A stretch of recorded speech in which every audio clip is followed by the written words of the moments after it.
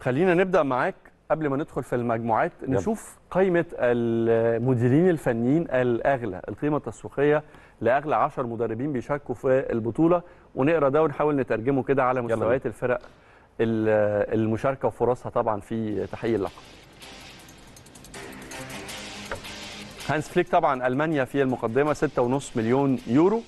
غريب بالنسبة لي إنه جاريث ساوثجيت إنجلترا طبعا مدير فني لإنجلترا جه في المركز الثاني. ب 5.8 من 10 مليون يورو. آه، ديديه ديشان آه، فرنسا 3.8 من 10 مليون آه، يورو. آه، تيتي البرازيل 3.6 من 10 آه، مليون يورو. آه، في المركز الخامس آه، لويس فان خال آه، هولندا 2.9 من 10 آه، مليون يورو. في المركز السادس في بقى هنا أسماء يمكن آه، آه، جيراردو مارتينو ده مدير فني المكسيك. في المركز السادس 2.9 من 10 مليون آه، يورو. آه، لايونيل سكالوني مدير فني الأرجنتين 2.6 من 10 مليون يورو. آه، فيليكس سانشيز المدير الفني اللي شفناه طبعا وظهر في أول مباريات قطر مدير الفني لقطر 2.4 من 10 مليون يورو. فرناندو سانتوس البرتغال 2.4 مليون يورو. ومراد آه، سويسرا 1.6 من 10 مليون يورو. مراد يكين ده بتاع سويسرا؟ آه. ده اللي كان بيلعب تحت قيادته محمد صلاح ومحمد؟ النني في بازل. آه. وهو صاحب الطفرة الحقيقية في مستوى محمد النني اللي نقلته للأرسنال. آه.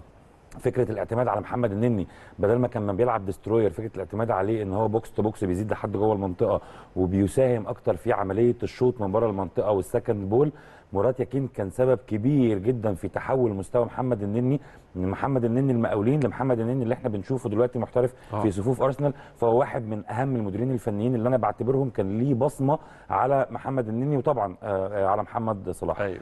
قائمة منطقية آه جدا. ال- ال- اللي علامه الاستفهام بالنسبة لي الوحيد إنريكي. لويس إنريكي مش موجود. آه يعني دي بالنسبة لي يمكن واحد من المدربين أو عامل مشوار سواء كان مع البارسا أو بعد كده مع إسبانيا يعني مشوار هو في في في علامتين استفهام. مم. أوكي؟ مع إن أنا مقتنع بيه على فكرة بس في علامتين استفهام. واحد مش موجود وواحد موجود أو آه. واحد موجود في المقدمة كمان. أيوه. لويس إنريكي إنه مش موجود على الرغم على فكرة إن أنا مش بحب آه، كورته. طريقة كورة لويس إنريكي قوي بس هو واحد.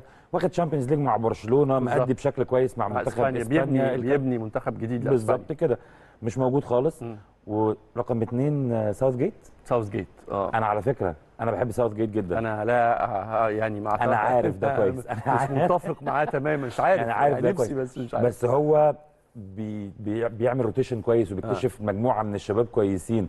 واصل آه آه semi final آه كأس عالم final يورو بمجموعة من الشباب هو اللي ضمهم للمنتخب في المقام الأول وبيلعب كورة جميلة بيلعب كورة ديناميكية أكتر مش مش مش آه بس القماش اللي معاه آه تقدم أحسن من كده. القماشه اللي معاه تقدم أحسن بس خل... خلينا نحط نقطة مهمة يعني جدا. يعني أنا متخيل المجموعة دي لو بيدربها حد حد مثلا زي جوارديولا هتشوف كره كرة. تانية خالص موافق جدا آه. آه. بس جوارديولا ما كانش هيضم المجموعة دي أصلا آه جوارديولا كان هيروح يدور على الحرس القديم والناس الكبيرة والت... والتيكي تاكا والكلام ده كله فكرة إن أنت تلاقي آه ديكلين رايس فكرة إن أنت تلاقي كالفين فيليبس فكرة إن أنت تلاقي بوكايو ساكا فكرة إن أنت تلاقي الوجوه الشابة الجديدة يعني في 2018 كانت أول مرة نشوف كالفين لسه في ليدز يونايتد. بيلعب في في في منتخب انجلترا وهو خط الوسط الأساسي هو و- وديكلين رايس.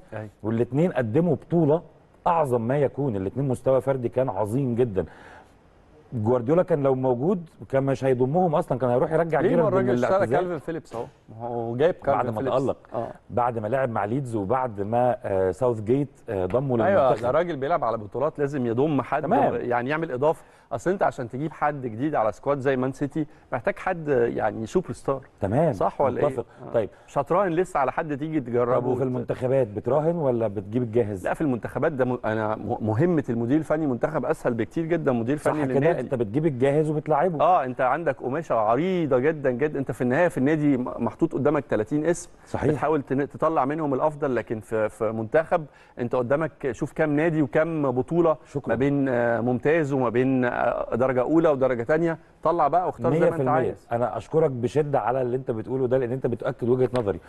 فلما نطلع من ده كله بإنه ساوث جيت اختار مجموعة من اللاعبين اللي مش معروفين وراهن عليهم إن هم يتألقوا زي كابتن حسن شحاتة ما عمل مع جدو مثلا. آه.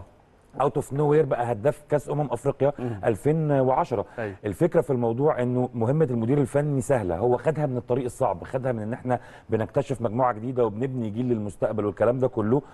اند ات بايد اوف يعني لما بنتكلم على Not سيمي yet. فاينل ات بايد اوف على الأقل إنه إنجلترا طموح اخر مرة. طموح إنجليزي ما اعتقدش ابدا انك توصل مباراه فاينل أو انك آخر انت مرة آه تمام بس آخر يعني- مرة انجلترا يعني- تاهلت سيمي فاينل كان إمتى؟ ما, ما تفرقش معاك من. زمان جدا